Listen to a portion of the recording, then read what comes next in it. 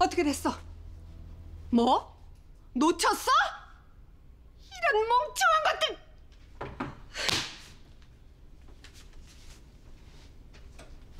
뭐예요?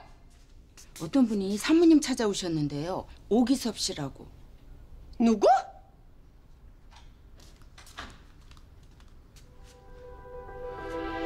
이 인간이 여기가 어디라고?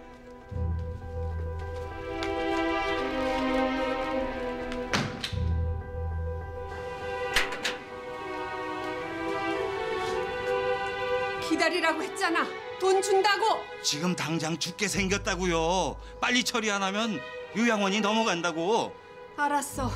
알았으니까 여기서 사라져. 계속 이런 식이면 나 진짜 섭섭해요. 까딱했다간 손녀리한테 다 풀어버릴 거야. 네 아빠 손주어 팔팔하게 살아있는 채로 내가 데리고 있다고. 알았으니까 당장 꺼져. 그럼 연락 기다리겠수. 어, 엄마.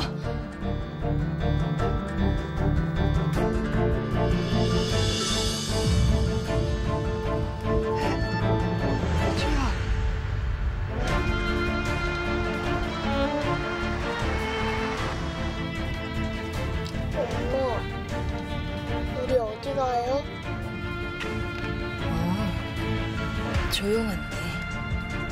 홍지원은 상상도 못할 우리 둘만 있을 수 있는 곳을 찾아야 해.